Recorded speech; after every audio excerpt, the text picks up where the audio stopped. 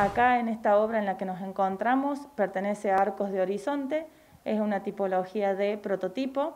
Eso quiere decir que va a estar para mostrar a los socios o a futuros socios que quieran conocer nuestras viviendas y saber de nuestra calidad constructiva, la cual eh, son materiales de primera y la mano de obra también.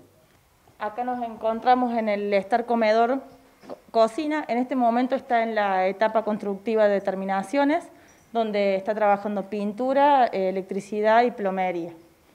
Eh, lo último que se instala en esta vivienda son las aberturas, luego de que se termina la pintura, y después se arma el baño y la cocina.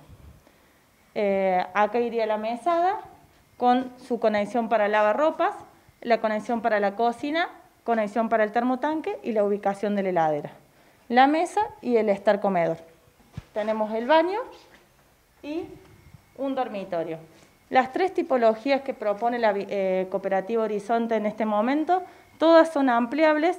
Esta tipología es de un dormitorio, pero tiene la posibilidad de que ampliemos dos o tres dormitorios una vez que el socio después se venga a vivir.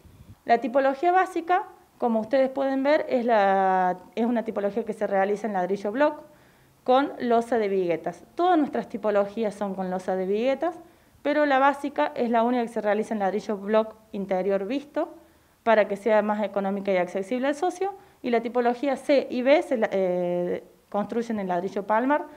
Las estructuras en todas es las mismas, todas se pueden ampliar en planta alta, está prevista, la, la construcción ya queda prevista para una ampliación futura en planta alta o en planta baja. Esta tipología, por ejemplo, no cuenta con piso cerámico, es una terminación que puede optar el socio a colocar o la coloca una vez entregada. Eh, todas las viviendas tienen aberturas de aluminio y rejas.